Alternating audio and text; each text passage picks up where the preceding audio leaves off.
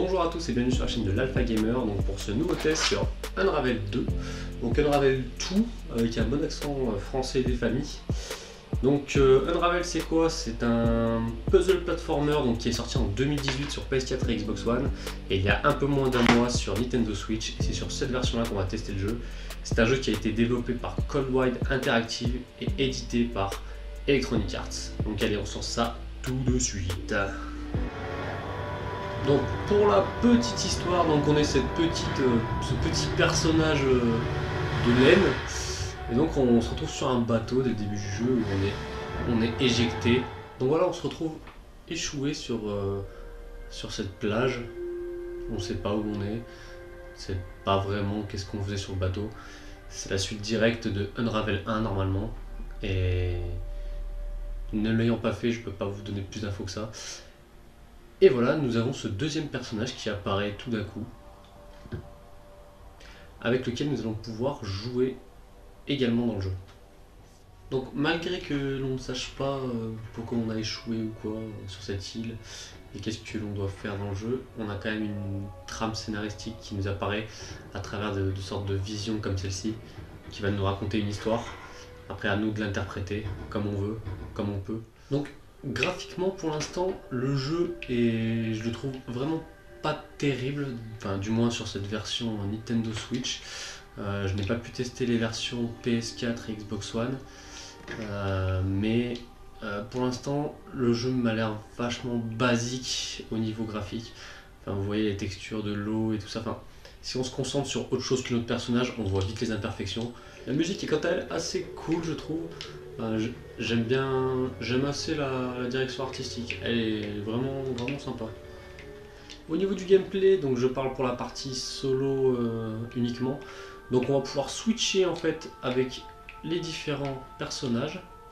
On va avoir un bouton pour sauter et un bouton aussi, enfin celui qui sert à switcher de personnage va nous permettre aussi de porter notre, notre ami pour éviter de, de se tremballer un après l'autre pour devoir avancer. Donc le jeu va nous forcer à utiliser notre deuxième personnage pour venir à bout des, différents obstacles dans le jeu, de devoir switcher entre les deux, pour ensuite débloquer, la suite du passage.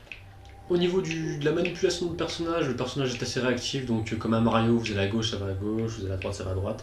Vous avez une sorte de air control où vous allez pouvoir sauter et changer de direction en plein vol si, vous vous êtes, rendu compte que vous faites le mauvais choix. Et également faire des, wall jump, donc euh, faire des, petits sauts, euh, sauts muraux pour passer les, différents obstacles. Donc le jeu est assez précis, c'est agréable à prendre en main. Tout au long du niveau, vous allez en fait passer de tableau en tableau, donc euh, sans transition, sans temps de chargement ou quoi. Et en fait, vous allez à chaque fois tomber sur cette petite lumière devant vous qui va vous expliquer, enfin en gros, vous allez devoir la suivre, elle va vous dire à chaque fois le passage que vous allez devoir emprunter. Donc vous êtes rarement perdu dans le jeu. C'est pas le but, le but c'est de se creuser un peu les ménages et de jouer en famille vu que c'est un jeu multijoueur comparé au 1 pour pouvoir passer le maximum d'obstacles.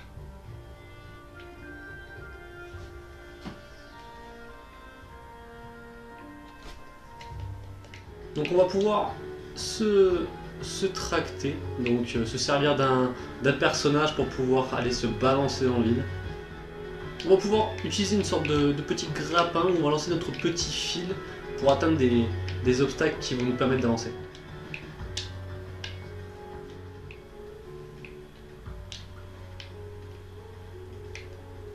On va pouvoir tirer certains éléments du décor. Vous allez pouvoir également effectuer des petits nœuds d'amarrage sur certaines zones où vous allez être obligé de coopérer avec votre, votre ami pour pouvoir faire des sortes de petits ponts qui vont vous servir ou de passerelle ou de trampoline pour euh, passer au niveau supérieur. Le tout combiné va vous permettre de passer des niveaux de plus en plus complexes. Vous allez devoir utiliser un peu tout ce que vous avez appris, comme les ponts qui vous relient et pouvoir pousser les objets. Le jeu peut aller des énigmes les plus faciles aux énigmes les plus complexes, où on va devoir utiliser vraiment tout ce qu'on a appris au fil des niveaux et dans le didacticiel.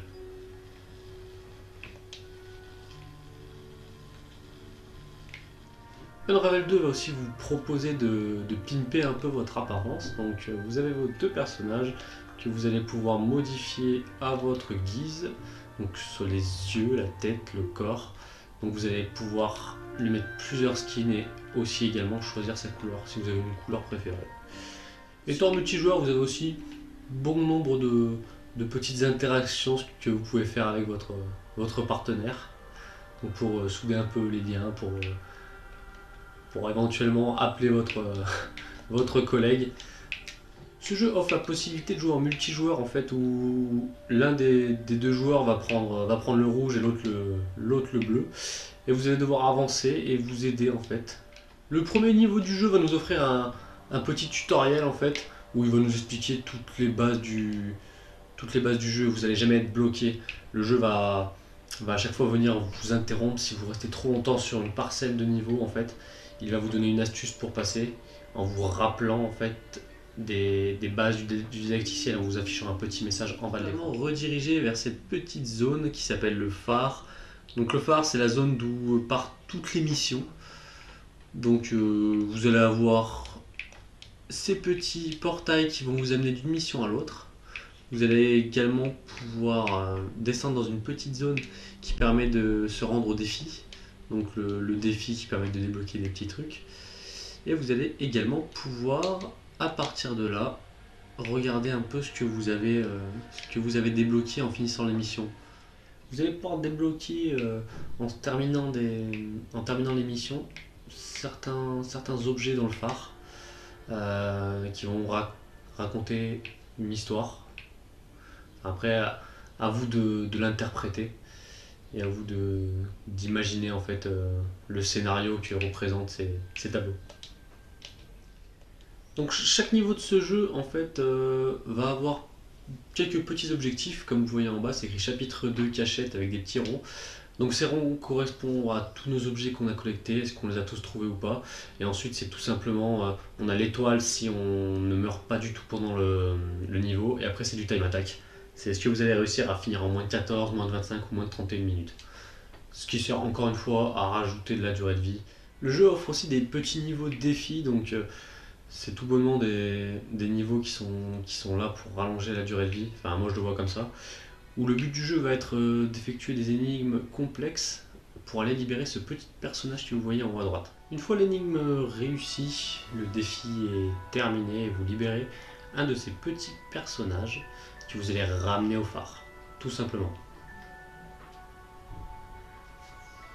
Vous allez sûrement me demander, mais à quoi servent ces défis, euh, à part euh, rallonger la durée de vie de manière euh, complètement voyante? Donc, ça sert du coup, vous libérez vos personnages, et ensuite, ces personnages vous donnent accès, vous donnent accès, j'ai dit, à un peu plus d'apparence en fait. Dès que vous finissez de sauver un personnage, vous pouvez vous équiper de sa, de sa tête, en fait, de sa tête, de ses yeux. C'est un peu bouché dit comme ça, mais il a rien de. On le décapite pas, il n'y a aucun souci, d'accord Vous allez pouvoir prendre en fait son apparence tout simplement pour pouvoir faire un peu comme vous voulez. Malgré son univers rempli de pelotes de laine, le jeu n'en reste pas moins punitif. Donc, même si euh, voilà, les ennemis ne sont, pas, ne sont pas super intelligents ou quoi, placés au bon endroit, ils vous punissent instantanément. Le moindre contact et c'est la fin. Après, le jeu, il y a des points de passage un peu partout. Dès que vous avez, dès que vous mourrez, vous, re- vous, vous repartez de, pas très très loin. Le jeu n'en reste pas moins rempli de bugs, je trouve. Enfin, les textures, des fois, on va arriver, on va, arriver, on va s'accrocher à certains, certains murs, on va être bloqué. Là, euh, je force tout simplement en fait sur mon deuxième personnage pour essayer de, de tirer le deuxième. Et euh, vous voyez, je passe à travers la, à travers la texture et j'arrive quand même à, ramener mon personnage alors que c'était pas du tout la solution pour passer ce niveau. Donc voilà, enfin, gros, gros bémol, je trouve. C'est c'est des petits trucs pas aboutis qui vont ruiner un peu l'expérience. J'aurais jamais dû passer comme ça et en forçant comme un débile, j'ai réussi quand même à passer. Donc euh, au niveau de la durée de vie, le jeu n'a pas l'air extrêmement long. Euh, j'ai dû jouer environ 40 minutes et vous voyez que c'est écrit niveau terminé 2 sur 7. Donc euh, je pense que la durée de vie doit tourner autour de 3 heures, peut-être peut-être 4. Donc voilà, c'est pas énorme pour un jeu que j'ai dû payer, que j'ai payé 30 ou 40 euros.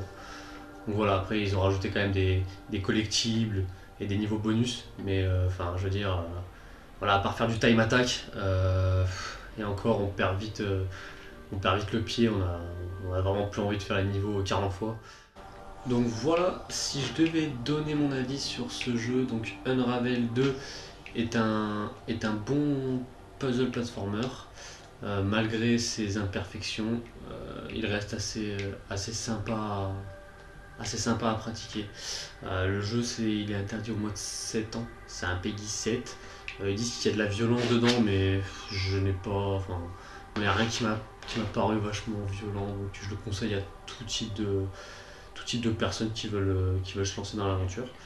le jeu a l'air vraiment sympa jouer en multijoueur, donc chacun un personnage je pense qu'il peut y avoir certaines scènes où, ça peut vraiment être, euh, être marrant de jouer avec, euh, avec un collègue, avec sa copine, avec euh, son gosse, n'importe qui. Donc le jeu pour l'instant, pour l'instant moi il me plaît. Après rapport qualité-prix. Étant sorti sur Nintendo Switch, le jeu il le sort un peu cher, sachant que sur PS4 ils ont ressorti exactement le même, au même prix, voire même un peu moins cher, et avec le Unravel 1 inclus alors que sur Nintendo Switch vous allez avoir seulement le 2. Donc je trouve c'est assez une carotte euh, phénoménale, si je puis dire.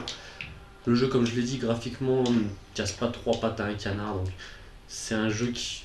C'est un jeu que je conseille à tout le monde, mais pas au prix fort. Donc si vous le voyez en occasion, ou vraiment, après si vous avez coup de cœur, achetez-le direct.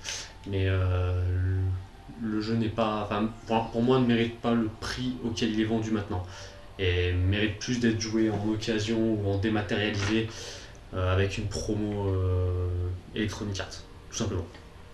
Le jeu a l'air également un peu court pour le prix qui nous est proposé et, euh, ça c'est vraiment vraiment dommage. le jeu, comme je l'ai dit avant, va vous proposer des expériences assez, assez, assez différentes il y a des énigmes faciles, il y en a d'autres qui sont super difficiles, vous allez vous ruiner le crâne pendant, un bon quart d'heure. Après, il n'y a rien qui est impossible non plus. Enfin, c'est pas, des trucs de fou non plus. Donc euh, voilà. Euh, pour moi, pour moi, ça reste un jeu assez moyen dans l'ensemble. On va le dire, euh, on va dire, on va dire franchement, assez moyen. Donc voilà tout le monde, c'est tout bon pour moi.